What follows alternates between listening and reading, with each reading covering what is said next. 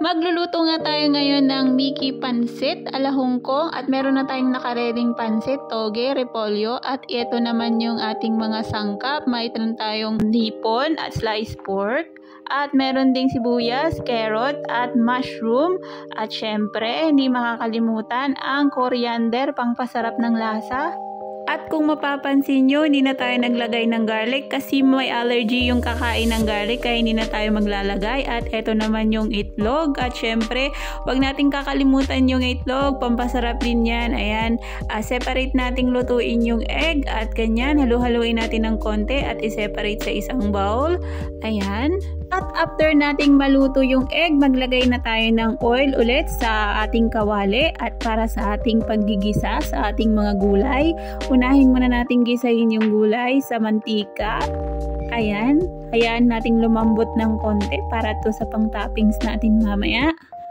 Ayan, takpan natin saglit para lumambot. At pagkatapos nun, ilagay na natin yung toge. Mabilis nang malot maluto yung toge. At lagyan natin ng chicken broth or kung anong meron tayo. Ayan, hanguin na natin pag medyo alam na, pag alam na nating luto na. Separate na natin sa isang bowl. At pag init na naman tayo ng mantika para sa paggigisa ng mga karne at sangkap. Halu-haluin na nga natin hanggang sa maluto ang karne at isusunod naman natin dyan yung ating isusunod na natin dyan yung ating fresh na hipon. Ayan na, gisa-gisa muna natin lahat ng sangkap. Ayan, halo-halo, halo-halo hanggang sa maluto. Ayan na. At sunod na ang ating, ang ating sibuyas. Ayan, isunod na natin ang ating sibuyas. Ayan, halu-haluin natin hanggang sa maluto. At next na po yung mushroom. At syempre, halu-haluin din natin kagaya ng ating mga naunang sangkap. Ayan, hanggang sa maluto. At pag medyo luto na, saka tayo maglalagay ng toyo sa ating mga sangkap.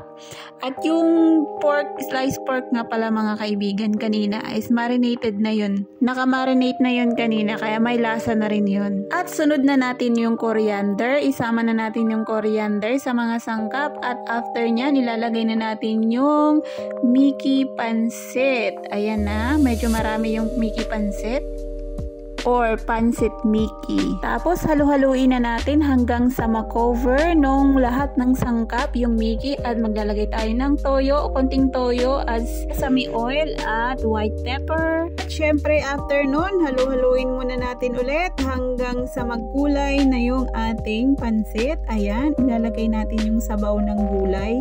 Yun yung gagawin nating sabaw na pampalambot ng pansit para mas malasa. At syempre, halo-halo na naman. At yung ating itlog, ilalagay na natin.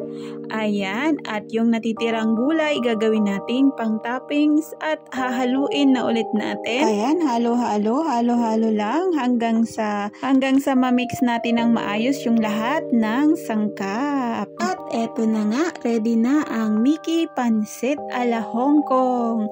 Thank you guys for watching. Please follow my page for more videos.